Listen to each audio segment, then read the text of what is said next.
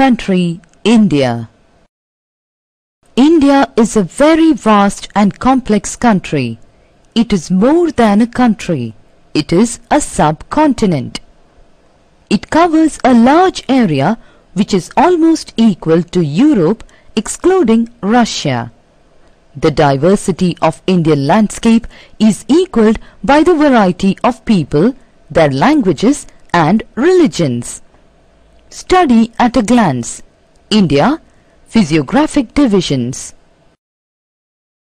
India, our country.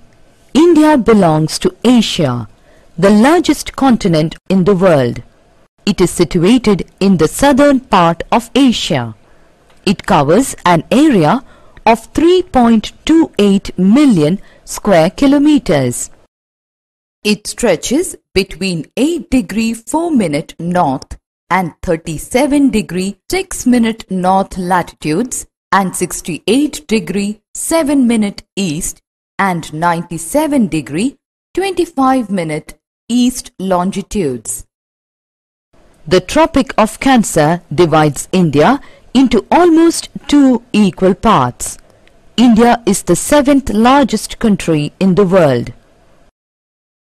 India enjoys a very favorable position in the Indian Ocean with reference to the world's major sea routes and air routes.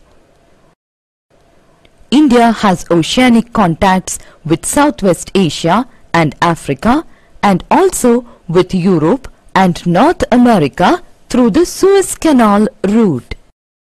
To the east, India has direct links with Myanmar, Indonesia, Malaysia, Hong Kong, China, Japan and Australia. This encourages trade and cultural exchange with all countries. India is a union of 28 states and 6 union territories while Delhi is the national capital. Physiographic divisions of India India can be divided into the following physical regions, viz. The Himalayan mountain system, the Peninsular Plateau, the Great Northern Plains, the coastal plains, the island groups. The Himalayan mountain system the Himalayan mountain system extends between river Indus on the northwest and river Brahmaputra on the east. Himalaya means the abode of snow. Himalayan mountains are divided into three main parallel ranges. The northernmost is the Great Himalayas or Himadri, the world's highest peaks like Mount Everest, Kanchenjunga etc. are located in this range. Middle Himalayas or Himachal lies to the south of Himadri. Numerous popular hill stations are situated here.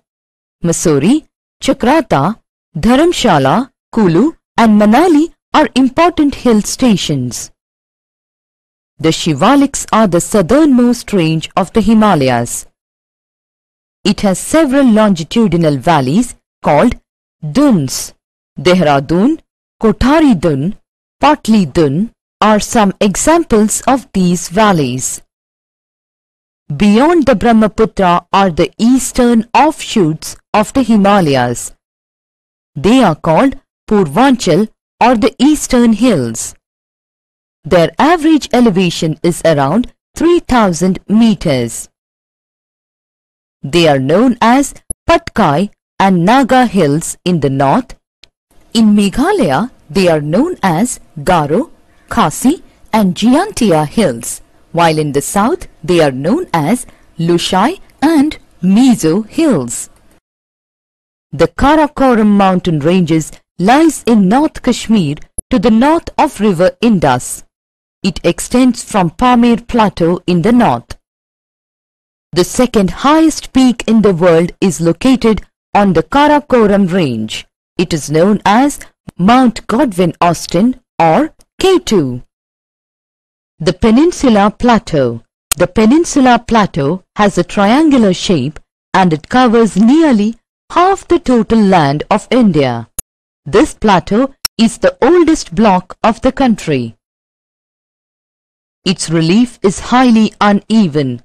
It has numerous hill ranges and valleys. Aravalli Hills is one of the oldest ranges of the world. It borders the plateau on the northwest side. The Vindhyas and the Satpuras are the other important ranges. Narmada and Tapi flow through these ranges. They are west-flowing rivers.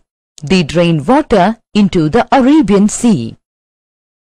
The Western Ghats or Sahyadris border the plateau in the west and the Eastern Ghats from its eastern boundary. The Great Northern Plains The northern Indian plains lie to the south of the Himalayas. They are generally plain and flat. Alluvial deposits laid down by the rivers have formed these plains. Ganga, Brahmaputra and their tributaries flow through these plains. They provide fertile land for cultivation. Hence, high density of population is found in the plains. Thar Desert lies in the western part of India. It is a dry, hot and sandy stretch of land. It has very little vegetation and very few people live in this desert. The coastal plains to the west of the Western Ghats and to the east of the Eastern Ghats lie the coastal plains. The western coastal plains are very narrow. Narmada and Tapi, the only west-flowing rivers, drain this coastal plain. The eastern coastal plains are broad. Numerous east-flowing rivers like Mahanadi, Godavari, Krishna and Kaveri drain water into the Bay of Bengal. They have formed fertile deltas at their mouth. The island groups India has two major island groups, Lakshadweep Island Group and the Andaman and Nicobar Island Group. Lakshadweep Island Group is located in the Arabian Sea opposite of Kerala coast. This group of islands was formed due to the deposition of a microscopic species of coral polyps. This group of islands look like a horseshoe in shape and are called atolls. Andaman and Nicobar Island Group is located in the Bay of Bengal close to Myanmar in the north and Indonesia in the south. Many islands of this group were formed due to volcanic eruptions. Summary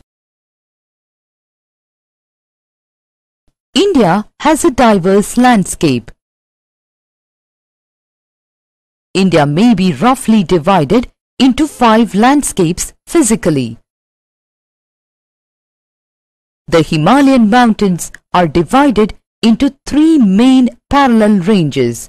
They are Great Himalayas or Himadri, Middle Himalayas or Himachal and the Shivaliks. The peninsula plateau has a triangular shape and it covers nearly half the total land of India.